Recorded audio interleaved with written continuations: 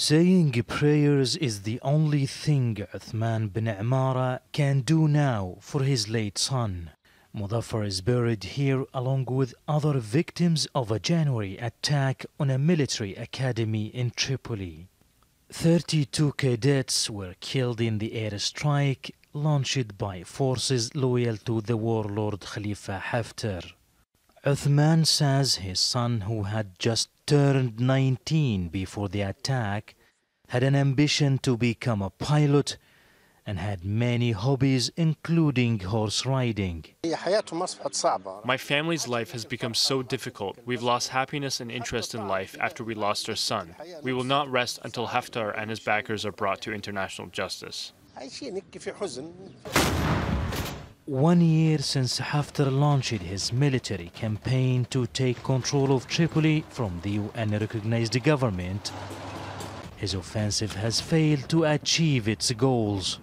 International mediation has failed to end the conflict, including a recent call on the warring parties to embrace a truce to allow the country to tackle COVID-19.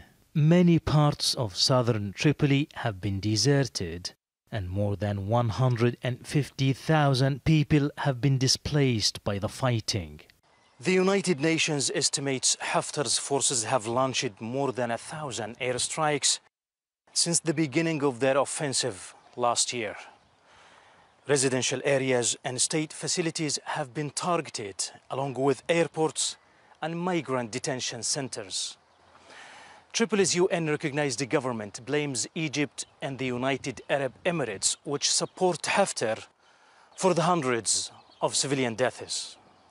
More than a dozen medical workers have been killed in drone attacks on field hospitals. And in July, 53 migrants were killed by airstrikes. The Tripoli-based government accuses Egyptian and UAE warplanes of carrying out the attacks. If Haftar's forces advance more inside residential areas, war crimes and crimes against humanity will be committed by his multinational mercenaries. Libyans cannot stop this war, but the regional and international players can. Haftar is also supported by Russia and politically by France, while the internationally recognized government in Tripoli has military support from Turkey. As this conflict goes on, there is a sense those responsible for killing civilians won't be held to account. Victims' families like Uthman are likely to wait for a long time to get justice, if they get it at all. Mahmoud Abdelwahed, Al Jazeera, Tripoli.